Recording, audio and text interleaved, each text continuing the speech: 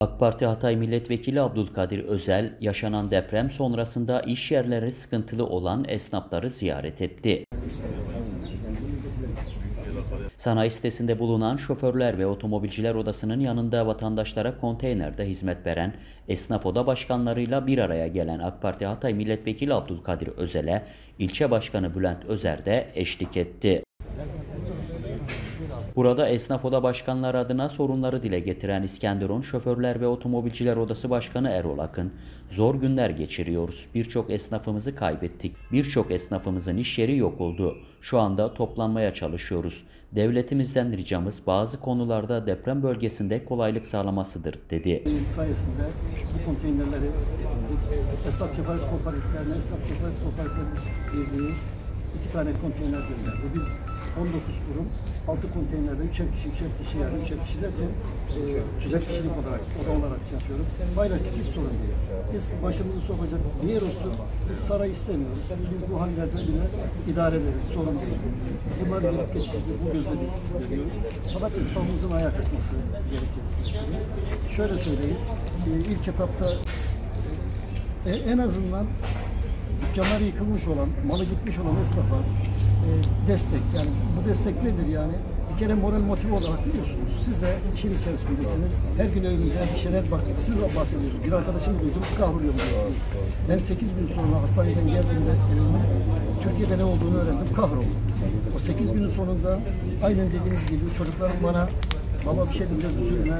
Şu bitmiş. Her duyduğumda kahroldum. Hala kahroluyoruz. Siz de biliyorsunuz. Kırıklanma devletimi aradım. Taziye dilemek için.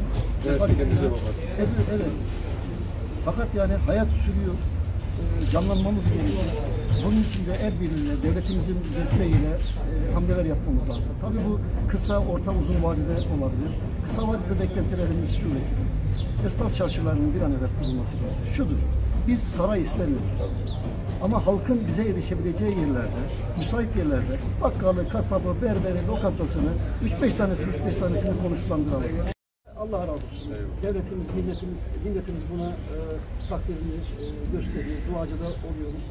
Ne yapıyoruz? Biz eskiden 50 bin liraya 3 kefil alıyorduk. Ama şimdi biz 2 kefil alıyoruz. 250 bin lira kredi veriyoruz. O da fazla şey.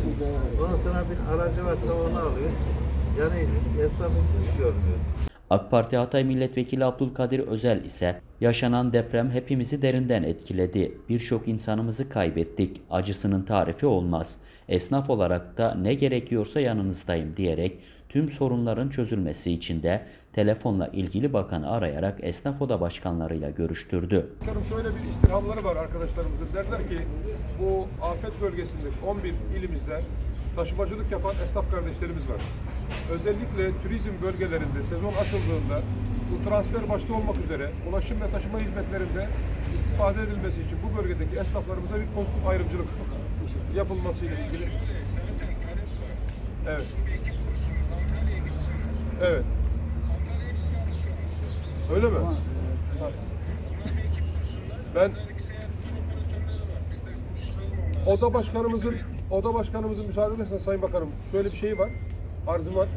Sayın Bakanım hürmetler ediyorum. İskenderun Esnaf Odaları Birlik Başkan Vekili, İskenderun Şoför Odası Başkanı.